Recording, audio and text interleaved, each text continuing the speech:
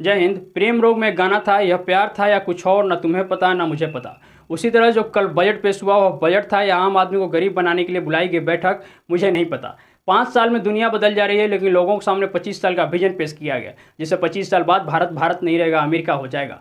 भारत की अस्सी प्रतिशत जनता गरीबी रेखा के नीचे जीने को मजबूर है। छात्र और किसान सड़कों पर हैं। आम आदमी महँगाई से परेशान है। मिडिल क्लास लोगों के पास नौकरियाँ नहीं है।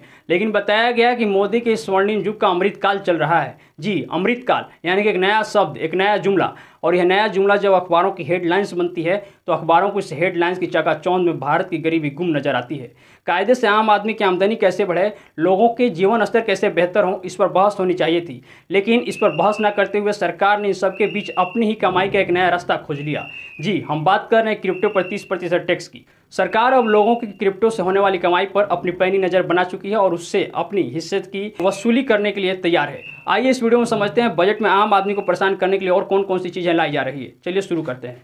देखिए, बजट पेश हुआ कल एक फरवरी को। सामान्यतः भारत में जो आम बजट पेश होता है, एक फरवरी को ही पेश होता है। निर्मला सीतारमन भारत सरकार के सबसे विद्वान, शिक्षित, होनहार मंत्री ने इस बजट को पेश किया। आपको पता है कि निर्मला सीतारमन इतने विद्वान वित्त मंत्री हैं कि जब से यह वित्त मंत्री बनी है, भारत की अर्थव्यवस्था की लोटिया डुबो दी है। हर एक चीज़ रसातन में जा रहा है। इनके ही शासनकाल में भारत की जीडीपी पहली बार निगेटिव में गई थी।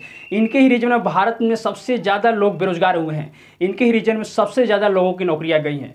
इतनी उपलब्धि काफ़ी है। अब आइए आगे बात करते हैं। देखिए, निर्मला सीतारमन कल चौथी बार अपनी बजट पेश किया। जी। और इसमें इन्होंने 90 मिनट तक भाषण दिया। अपने 90 मिनट के संबोधन में निर्मला सीतारमन ने कुछ घोषणाएँ की, कुछ जुमलाएँ दी। जुमला इसलिए कह रहा हूँ क्योंकि मुझे पता है कि जितने भी इसने घोषणाएँ की, उसमें से बहुत सारे पूरे नहीं होंगे।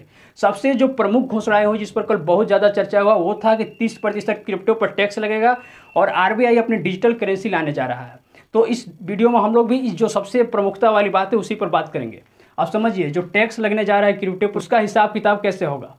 सरकार ने कहा है कि तीस प्रतिशत टैक्स लगेगा क्रिप्टो करेंसी में जो आप इन्वेस्टमेंट करते हैं, जैसे बिटकॉइन या दूसरे कोई भी क्रिप्टो करेंसी उसमें आप इन्वेस्टमेंट करते हैं, उस पर जो प्रॉफिट होगा, उस पर तीस प्रतिशत टैक्स लगेगा। अर्थात अगर आप सौ रुपये अभी कमाते हैं प्रॉफिट के ज़रिए तो उसमें आपको तीस रुपया टैक्स देना होगा और आपके खाते में सत्तर रुपये ही आएँगे। और ये सत्तर रुपये भी नहीं आएँगे क्योंकि वज़ीर एक्स और कोइन डी सी एक्स वाले जो एक्सचेंज होते हैं, वो भी अपना कुछ चार्ज काटते हैं तो आपके खाते में साठ या पैंसठ रुपये ही आएँगे।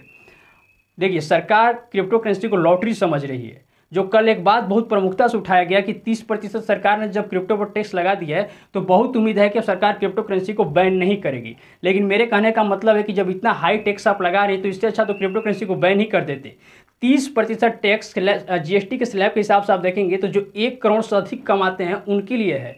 मतलब एक करोड़ से अधिक, एक करोड़ रुपए आप कमाते हैं तो आपको तीस प्रतिशत उसमें टैक्स देना रहता है। लेकिन यहाँ सौ रुपये कमाने वाले लोगों को तीस प्रतिशत टैक्स देना होगा। ये कहाँ की समझदारी है कि इस सरकार की कौन सी दरिया दिली है आम आदमी के लिए? मुझे तो समझ में नहीं आ रहा है। कायदे से सरकार को एक स्लैब बनाना चाहिए। कम से कम पाँच लाख तक या पाँच लाख से जो ऊपर कमाते हैं, उनके लिए टैक्स की व्यवस्था करनी चाहिए थी।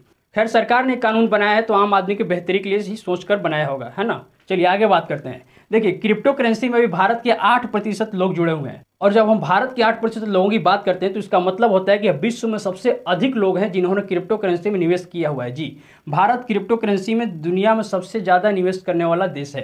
अभी भारत के आठ प्रतिशत लोग मिलकर सत्तर हज़ार करोड़ रुपए का निवेश किए हुए हैं क्रिप्टो करेंसी में। जी, सत्तर हज़ार करोड़। और अगर सरकार के इस महान कानून की वजह से सत्तर हज़ार करोड़ का जो लोगों ने निवेश किया है, उसको निकालना शुरू कर दे तो अभी मार्केट डाउन है। कितना अधिक नुकसान हो सकता है लोगों को? आपको कोई अंदाज़ा है? या सरकार को कोई अंदाज़ा है? आपको अंदाज़ा हो सकता है अगर आपने इसमें इन्वेस्टमेंट किया होगा तो। नहीं किया है तो जिन्होंने किया उनसे पूछिए। अब आइए आपको बताते हैं कि आरबीआई जो डिजिटल करेंसी लाने जा रहा है, उसके बारे में।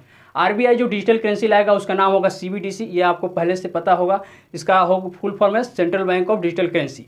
लेकिन भारत में हर एक चीज़ का दो नाम होता है तो सीबीडीसी का एक और नाम होगा डिजिटल रूपी। हम लोग उसको डिजिटल रूपी कह के बुलाएँगे। यह जो सीबीडीसी क्रिप्टो करेंसी होगा, वह ब्लैक ब्लॉक चेन पर आधारित होगा। अब कोई ना कोई तो जुगाड़ चाहिए कि जिस पर वो रन करेगा तो ब्लॉक चेन पर आधारित होगा। और सरकार का कहना है कि ये जो सीबीडीसी क्रिप्टो करेंसी है, यह इसी वित्तीय वर्ष 2022-23 में आ जाएगा।